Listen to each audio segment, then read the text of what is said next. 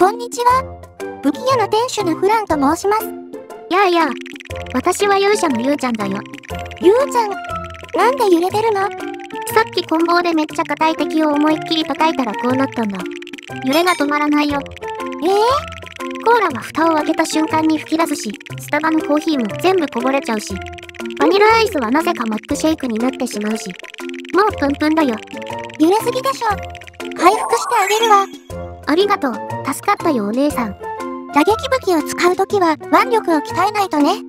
レベルアップするしかないのか。今日は打撃武器、メイスの解説をしましょう。メイスって棍棒がパワーアップした武器なの？そうね。棍棒は、英語でクラブと言います。メイスとクラブの違いは、ヘッドがあるかないか。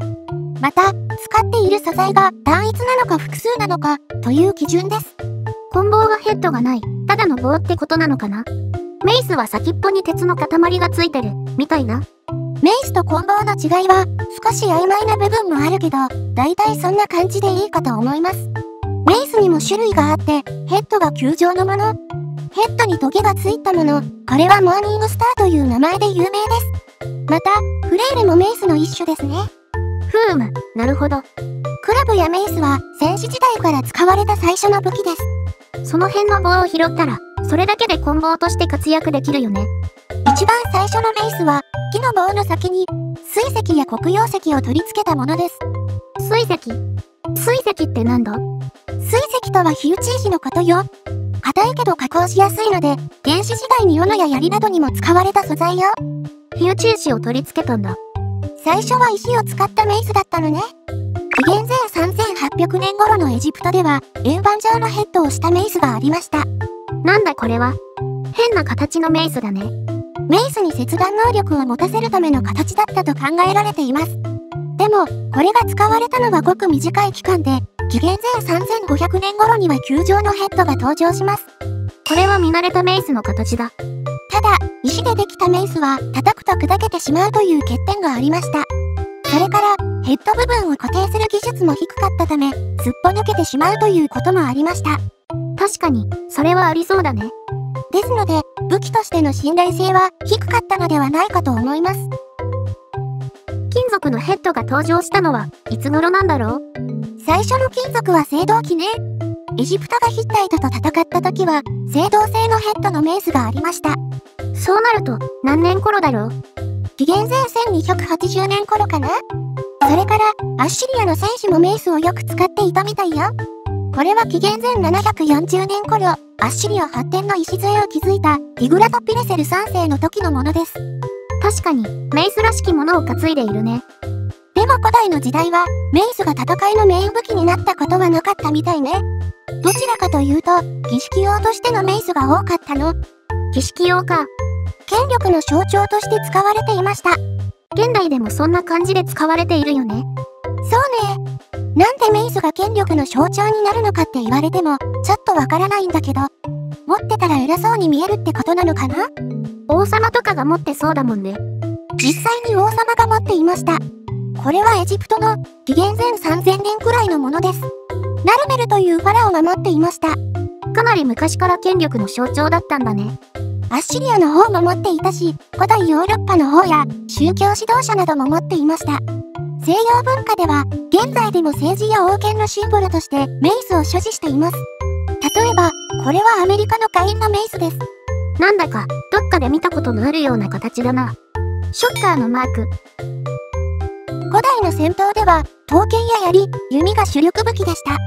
メイスの出番はなかったってわけなんだね。古代から中世の中頃まで、メイスが戦いのメイン武器になることは少なかったようです。中東地域では、メイスを使うことも多かったということですが、詳細は不明です。メイスが本格的に活躍するのは、西暦1000年を過ぎてからね。ふむふむ。また、メイスは聖職者が戦う際に血を流させないために使っていたというのが一般的でした。うん、血が流れなきゃいいっていう問題じゃない気がするけど。これは、聖職者が戦争に傾倒しないようにするための戒めということが大きいよね。傾倒しないようにするための戒めどういうことなんだ？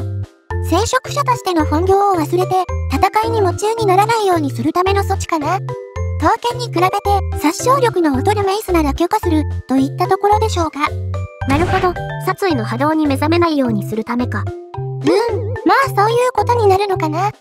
実際に1066年のヘイスティングスの戦いでは聖職者がメイスを使っている描写があります。そもそも、なんで聖職者が戦いに身を投じるのかっていうのが疑問だけど。そうね。歴史を振り返ると、聖書に出てくる祭司が、戦いの指揮官も兼任していた、ということもあるわね。また、十字軍編成も、教会の騎士団が主力部隊の一つになっています。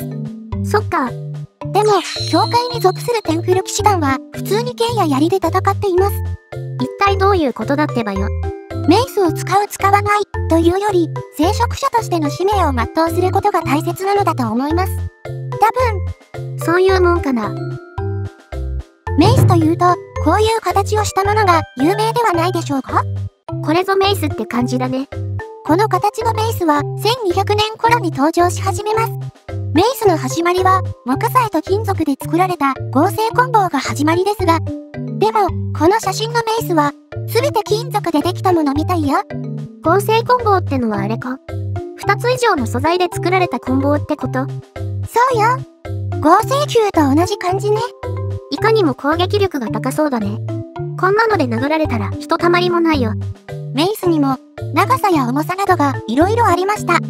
短いものだと長さ30センチくらいの短いものから長いものだと1メートルを超えるものもあります。ふーむ、戦い方によって使い分けたのかな？うん。歩兵用のものは短めで、騎兵用のものは長めに作られていたようね。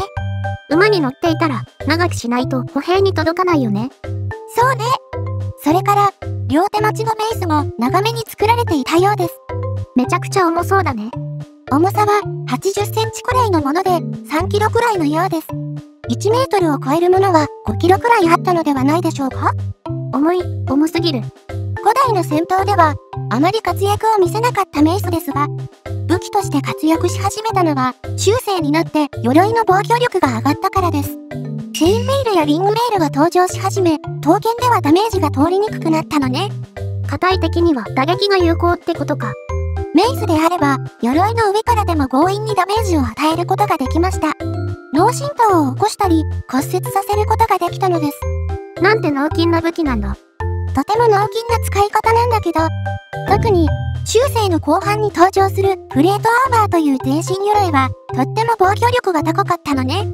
刀剣でダメージを与えるには、なかなか難しい部分もあったのよ。うん、確かに。これだけ金属で覆われていたら剣で攻撃するのは大変かも。それに、メイスは割と安く作ることができた、というのも利点のようです。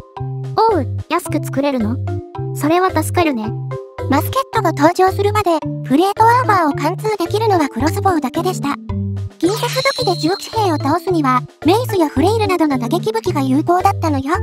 なるほど、敵にダメージを与えられなければ意味がないもんね。フレイルについても補足しておきましょう。フレイルか。ずっと前に、モーニングスターの解説をしたな。あの頃は、本当に武器の解説をやり始めたばかりで、知識も資料もすごく不足していました。なんだとフレイルは、もともと農民が使っていた農具です。棒状のヘッド、球状のヘッド、また、モーニングスターのような星状のものがあります。ザ・フレイルって感じだよ。フレイルはゲームなどのフィクションでよく登場し、有名な武器です。でも、歴史上、使われたことはほとんどない、と言われています。え、そうだったの？とにかく歴史的な資料が少なく、広く使われた武器ではなかったとする見解が多数のようです。学者によっては、武器としてのフレイルは存在しなかった、とまで言う人もいます。またロマンが一つ崩壊したよ。一つの理由として、フレイルはお米を脱穀するための道具なので、騎士に馴染みがなかった。お米の脱穀は農民の仕事か。そして、何よりも武器としての扱いにくさがありました。扱いにくさ。先端のヘッドがどう飛んでいくか予測がつかない。空振りした時に自分や仲間の体に命中するかも。下手したら敵に命中したけど跳ね返って自分に当たるかもしれない。うん、確かに危険な匂いがするね。また、振り回した際の勢いが強すぎて体が振り回されてバランスを崩すということもあります。フレイルは振り回しても振り回されるなということか。威力は高くても、武器としての信頼性に欠けていました。挿絵や武道マニュアルなどが残っているので、全く使われなかったということはないとは思います。真実は謎のままか。この当時の戦いを見ていきつつ、メイスを考察していきましょう。メイスが活躍した時代？うん、そうよ。メイスが活躍したのは、中世の真っ只中。馬に乗った中層騎士たちが活躍する時代だね。ザ・中世って漢字の世界なんだね。うん。実はこの時代、そもそも戦いはそれほど多くなかったのよ。そうなの男性なのかと思っていた。例えば、イスラム勢力と激しく戦ったリチャード一世でさえ、激闘は生涯に3回だけ。しかも、それは十字軍遠征の時だけでした。そうだったのか。戦争で敵を殺してしまうことにあまり意味がなかったのよ。それってどういうこと？もちろん、国同士の戦いやイスラム勢力、バイキングなどの侵略者に対しては命がけの戦いです。しかし、ヨーロッパ外部での小競り合いでは、そこまで命を懸ける戦いは多くはなかったのよ。平和的解決か、素晴らしい。平和かどうかわからないけど、基本的にはお金と利権による交渉ね。命は生きながらえても、権力や領地を失うなどのデメリットはありました。え、そっちの解決？敵の命を奪うより、身代金を受け取る方が利益があったのよ。そ、そういうことか。ですので、単なる小競り合いでの死傷者は少なかったのです。一応、同じキリスト教を信じている者同士なので、殺すのは忍びなかったとのこと。ふーむ、そうなんだね。そういう意味でも、メイズであれば、殺してしまう可能性は低かったと考えられます。えむしろ、相手を戦闘不能に追い込むという点においては、都合の良い武器だったという気がします。腕や足の骨が折れても死ぬことはありません。そうか、それであれば敵から身代金を取れる。よほど当たりどころが悪くない限り、命を落とすことは少なかったでしょう。確かに。鎧を着込んだ敵を刀剣で倒す場合、鎧の隙間から致命傷を与えるのがセオリーでした。しかし、このやり方は相手は殺してしまいます。そうなると、メイスは社会に適合した武器だったんだ。もちろん、防御の高い敵に有効だったのは間違いないと思います。ですが、それ以上に敵を殺さないための武器ではないか、とも思います。肉体を殺さず、相手の地位や名誉を奪って、社会的にダメージを与える武器だったんだね。その用途の方が多かったんじゃないかと思います。社会的に抹殺されて、いっそ死んだ方がマシ、ということもありそうだね。武器屋のお姉さん。メイスもなかなか奥が深いね。14世紀頃までは、割と死傷者の少ない戦いでした。しかし、14世紀を過ぎた頃から、死傷者増加の傾向が見られました。なんでせっかく平和だったのに。これに関してはおそらく、強かった騎士を容易に倒せる手段が登場し始めるからです。え、それって、火薬ってことかな？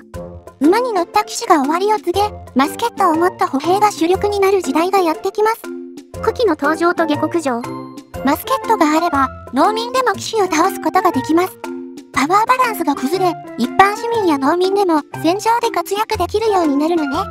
特権階級に対する革命の時代が少しずつ近づいていたのです。というわけで、ご視聴ありがとうございました。ありがとうございました。面白かったらチャンネル登録してくださいね。よろしく頼むよ。ボイキャスもよろしくね。